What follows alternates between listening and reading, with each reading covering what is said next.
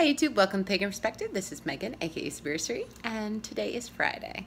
So I thought about changing up the scenery a little bit. You see I got uh, the solstice tree um, behind me uh, with all the fun ornaments. I think right there is our, uh, our like Sithmas or something, like it's a Darth Vader. It like says different things um, and you turn it on um, and various other things in the background. So anyway, I thought it might be a little bit more fun. Plus, um, like all the light is on this side. So I thought if you don't want me to be in the dark doing this video, then this is where I'm going. So, um, so yeah, so hi everyone. Um, today we are talking about the God conversation. And you know, this is something that, um, uh, it's a really long question and the other hosts have done a great job. Um, I think that it's interesting to me because I've had this come up many times and it's always been something that has bugged me because I get asked sometimes, you know, well, do you believe in God? Right? And so that God conversation that the question asker is talking about also implies that God is the Christian God right? And that really gets to me. And I know that not everybody does. I know some people talk about God in this agnostic way, universal energy type way. Absolutely. There are totally people who do that. However, the people who are asking me, who do you believe in God, are usually asking me, do I believe in the Christian God, right? So the God conversation, you know, that um, that philosophical, you know, what is omnipresence, what is omnipotent, um, if uh, if he is, if he never makes mistakes, then you know, how are there, you know, kids with cancer and things like that, right? So that conversation. And the other part of it that I think is really important to point out here is also that the word he is put in there that the God conversation is we're always talking about this essence, this energy, this this omni omnipotent being as a he, right? It's always referred to as uh, a he, the father, all this, right? And as pagans, I think we intrinsically, at least I know for me, we intrinsically don't have that mindset of a that it's just a male, right? Because more often than not, we uh, we worship uh, or at least venerate male and female energy, right? So gods and goddesses, right? And more often than not, uh, majority of pagans uh, have multi deities, right, in their pantheon. Whether they're um, hard or soft polytheists, you know, whether or not they're worshiping as a deity that they believe um, the in the actual deity itself um, is as an entity, or they believe in the energy of what that name of an entity um, does for them, right? And so, because there's just so many different types of pagans out there. Um, so for me, so that's that's really the only thing I can say because this is the pagan perspective, right? So my perspective on it. Um, for me, I think that I don't really get involved in the God conversation because I'm always asking, I say, well, why is it he? Why is it one? Right? So almost everything else uh, in nature, no, not everything. However, the majority of things, it you need both the masculine and the feminine energy in order to um, bring about life, right? Uh, and so, if why why was this? Um, hey, shoo, um, sorry, barking puppy. Um, so yeah, I think that those are my biggest questions. When I hear that God conversation brought up, I want to turn it back on them. And honestly, the conversation doesn't go much farther than that. I think pagans are just excluded from it because honestly, we have, and you know what, this is probably going to be controversial, um, but this is just my personal opinion and in no way reflects anybody else. And I have absolutely no scientific background or anything to to hold this statement.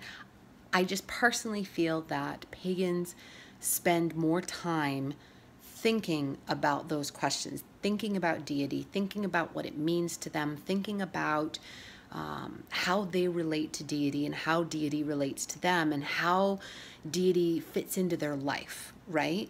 And so I feel like because, in my personal opinion, pagans spend more time thinking about this and talking about it with people, um, other pagans, that the God conversation, it's it's like we've already gone beyond it. You know, we're already kind of bigger than that, and um, dealing with I, I feel like even deeper questions, right? Is what's our place in all of it? What's our place in the God conversation, right? Um, how, how much of our soul is omnipresent, you know, and, and things like that. So um, I just feel like the conversation is being had. It's just on a, a deeper level in some ways, I think. And, um, and, and, um, and so, you know, I, I just, I think that, sorry, there's like, there's so much going on outside right now. the dog's going crazy, everything.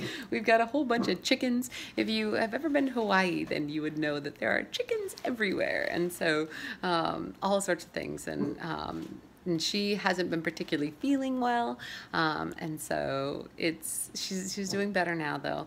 Um, so, but it's just and now the chickens are out oh my goodness so so anyway with the god conversation i think that really pagans have to in some ways not have to i guess but they do tend to at least i do have that relationship with deity in our own way and in our own time and so it makes us not really be a part of that god conversation because we've already had to kind of figure out what deity is to us. Um, and so to explain all that when somebody says, well, is God, you know, is he um, omnipotent? Right? Because the implications already, like you can't just answer that question. It, you know, there's are, there's so many assumptions being made. You're already assuming just by answering it, you're going to lend credence to their assumption that a God is masculine, uh, that and b that there's only one, right? And it, it's just so it, it's interesting to me. I thought it was a very very interesting question, but I, I just think that uh, in general pagans we think about um, our relationship um, to our spirituality, um, to our faith in a much deeper way sometimes than um, people who might end up going to church, um, you know, who might think about it just while they're in church on Sunday and then um, go home and don't think about it again. Now, that's not to say that there's not theologians out there who, man, could they they go deep, right? There are some theologians and some people who study the Bible and and or the Torah. Like, I mean, there's just the Quran. Like, there are amazing, amazingly in depth, you know, people who who go into their religion. I just think as a whole, when we have these sort of conversations, pagans don't tend to get included as much just because it's a difficult topic for them to dig their teeth into because of the assumptions that are already placed on it before it even begins. You know what I mean? So anyway, that's it. That's that's how I feel about it. And I've got I've got about six hens, a rooster, and eight? No, maybe nine little chicklets hanging out outside my window. Um, so uh, I would show you, but there's like all sorts of things in my way to get there. So, um, but yes, they're they're hanging out outside the window, so they say hi. uh, living in Hawaii, we have lots and lots of chickens everywhere. So, um, don't worry, chickens, I'm not gonna eat you. Um, so yeah, so that's it for today, guys. Um, I think this is a great topic. I think uh, it's hard to just say why we're not included. I think, you know, I, I know that I've had the conversation with people before. I just know it hasn't always gone particularly well because they're in a place where they their assumptions of a Christian God, a masculine, um, monotheistic faith, doesn't lend to having a theo, you know, a theologian type conversation with me just because uh, the basis of our faith is so different, you know? So even when I say to them that I fully believe their God exists, I just don't believe it's the only one. Um, so I have no problem believing uh, the Christian God exists and that they worship Him. Um, I just believe that He's just one of many, one of many, many, many. And, um, and the God and the goddess, the God and the goddess, um, I guess if you put a name to it, um, I just believe they're the mother and father of everything else. So, you know, this is the Christian God to me is sort of like their wayward teenager.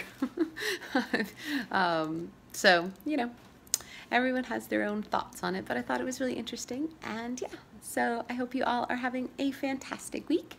Um, I am probably gonna do some karaoke this week and weekend and uh, and hit the beach. So uh, if you're doing anything exciting, put it in the comments and I will, oh, I probably won't see you. I don't think we have anymore. I think we're taking a break. So if I don't see you before the new year, the, uh, the new year in the USA, I guess, and um, then Happy New Year and Happy Solstice, Happy Yule, uh, Happy Hanukkah, Happy Kwanzaa, Merry Christmas, and um, I am so probably forgetting a million others. So, my favorite phrase, what I would rather say at this time of year than anything else, is happy holidays.